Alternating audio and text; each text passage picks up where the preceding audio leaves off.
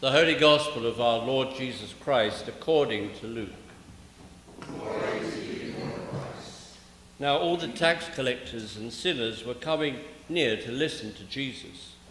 And the Pharisees and the scribes were grumbling and saying, This fellow welcomes sinners and eats with them. So Jesus told them this parable. Which one of you, having a hundred sheep and losing one of them, does not leave the 99 in the wilderness and go after the one that is lost until he finds it? And when he has found it, he calls together, he lays it on his shoulders and rejoices. And when he comes home, he calls together his friends and neighbors, saying to them, Rejoice with me, for I have found my sheep that was lost. Just so I tell you, there will be more joy in heaven over one sinner who repents than over 99 righteous persons who need no repentance. Or what woman, having 10 silver coins, if she loses one of them, does not light a lamp, sweep the house, and search carefully until she finds it? And when she has found it, she calls together her friends and neighbors, saying, Rejoice with me, for I have found the coin that I had lost. Just so I tell you, there is joy in the presence of the angels of God over one sinner who repents. The Gospel of the Lord. You, Lord Christ.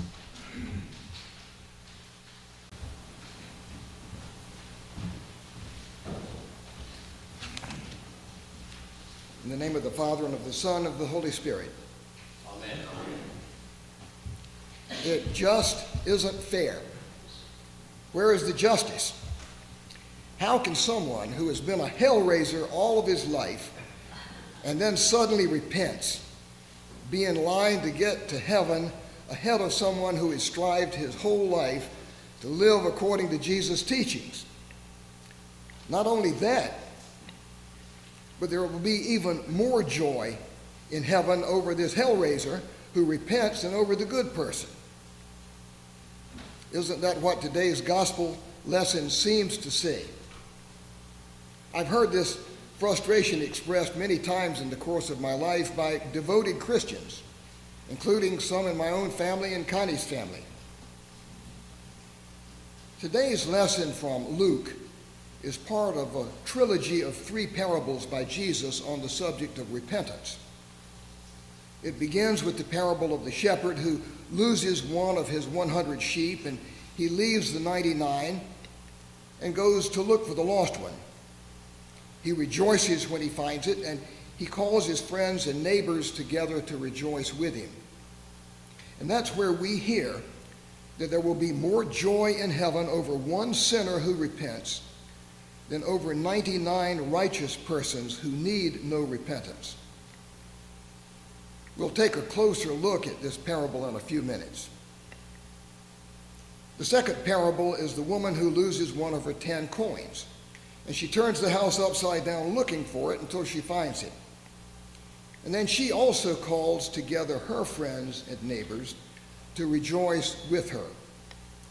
Now, here we simply hear that there is joy in the presence of the angels of God over one sinner who repents.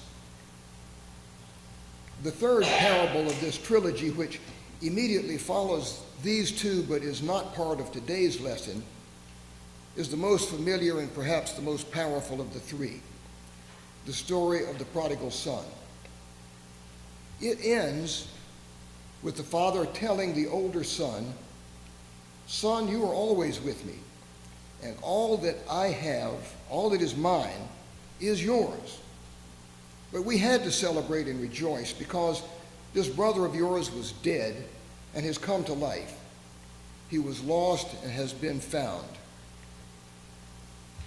As is usually the case with scripture lessons, context is important. The wording of today's lesson leads, uh, leads us to believe that Jesus' audience included tax collectors and sinners, but also Pharisees and scribes. The parables were a comfort to the former and a reproach to the latter. Jesus makes or Luke rather, makes Jesus' companionship with tax collectors a special point of interest. They include Levi or Matthew, who was one of his apostles, and Zacchaeus, the chief tax collector in Jericho, in whose home Jesus stayed in Luke 19. The sinners included any of those despised by the Pharisees for their failure to observe tithing or the ceremonial laws. And sinners also, of course, included criminals and all non Jews. The Pharisees considered sinners lost causes, they weren't worth saving. The Pharisees and the scribes were legal experts on the law and traditions, and they insisted that everyone follow them or be considered sinners.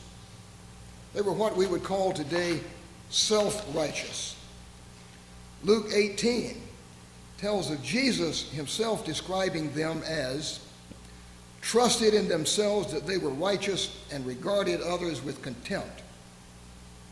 And Jesus also said that they pray by saying, God, I thank you that I am not like other people. In the parable of the lost sheep, when Jesus referred to the 99 righteous persons who need no repentance, he wasn't talking about people who truly didn't need repentance. Everyone needs repentance. We pray it each week in our confession. Jesus was referring to those Pharisees and scribes who considered themselves righteous and didn't believe that they needed repentance. They got his message and they didn't like it. There are a couple of key points in, in these parables that we should note. First, the seekers, whom we understand to represent God, didn't just sit back and wait for the lost to come to them. They actively went looking for the lost. And second, there was a celebration with friends and neighbors when the lost were found. In all three parables, Jesus offers that final point to the story rejoicing over the repentant. How does God actively go looking for those who need redemption? I think the answer should be plain to us. God came to us in the form of Jesus to bring us into the fold. How could God be more proactive than that? Jesus is the champion of those lost causes of the Pharisees and the scribes. Jesus doesn't portray God as a tyrant who demands subservience to impossible demands, but rather a God who actively seeks restoration. To quote a passage that's repeated several times in the Old Testament, He is a God merciful and gracious, slow to anger, and abounding in steadfast love and faithfulness. Jesus repeatedly talks about joy, the upside of repentance, and not about condemnation. Jesus doesn't praise the behavior of sinners, but neither does he scold nor correct them. He makes them feel deep inside the need to repent and to become better people. And then he welcomes them with open arms. Those who were around Jesus could feel this. And that's why so many people flocked to him. God also calls us, represented by the friends and the neighbors of the seekers in these parables, to rejoice with him when a sinner repents. We, the church, are the body of Christ in today's world, and we play an important role in this repentance and redemption process. Everyone needs the companionship and the support of fellow Christians to help us celebrate redemption and to maintain the strength to follow Jesus' teachings. We, the church, offer that fellowship.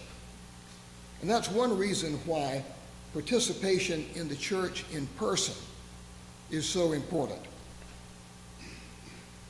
I think there's another aspect of these lessons that is sometimes overlooked.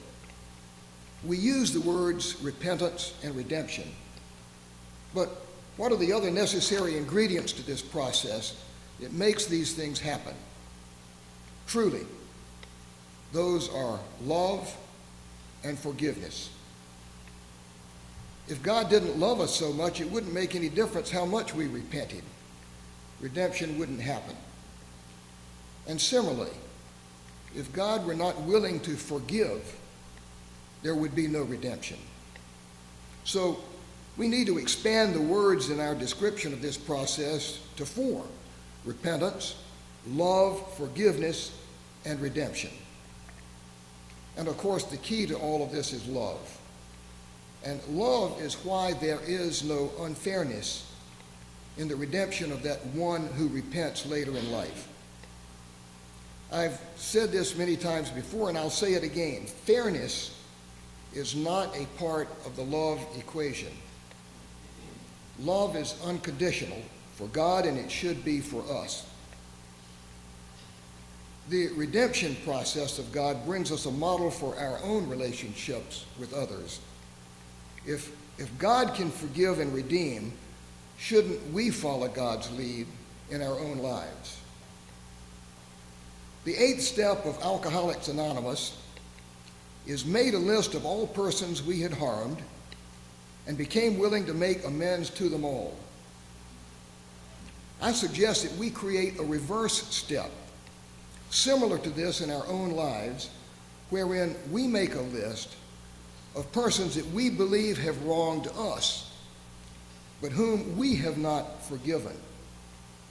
And then we pray for and forgive each of them individually, just as God forgives us individually. And where possible, even seek personal reconciliation. All of us regularly pray the Lord's Prayer. We may not think about it, but as part of it, we make a little bargain with God. Father in heaven, if you will forgive us our sins, then we will forgive those who have wronged us. And that's not always easy. But if we truly love God and we love our neighbors, then we'll be able to keep our end of this bargain. Amen. Amen.